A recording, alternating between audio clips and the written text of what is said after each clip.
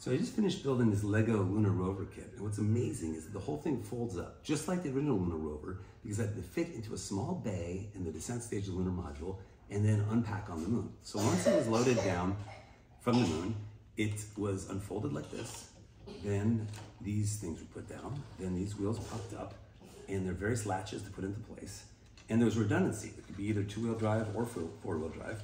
And um, once it was unpacked, amazingly, you know, like the chairs come up, and they come up out of the way. The footrests come up, and then when it's done, it has suspension system, it has four-wheel steering that, by the way, had to fold two different ways over and stay intact.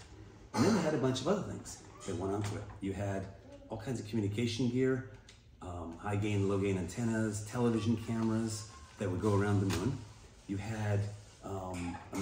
They didn't have Google Maps, so everything was sort of a, a dead reckoning um, and paper maps, if you can believe it, in a 16 millimeter camera for capturing images, various antennas. Then you also had a whole bunch of tools and stuff in the back. And this was modeled after Apollo 17. And it turns out I have a bunch of these tools. So we'll take a peek at that and I'll show those in the post. They carried on Apollo 17 a lunar traverse gravimeter.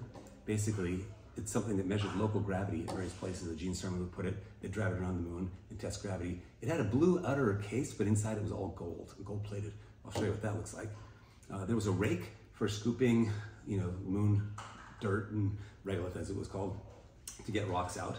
There was a flexible scoop, and I got one of those recently, um, that was also used for collecting rocks. And this, I had Charlie Duke's from Apollo 16 that he also used to prop himself up to lift the Muley, which was the largest moon rock collected um, in the Apollo program.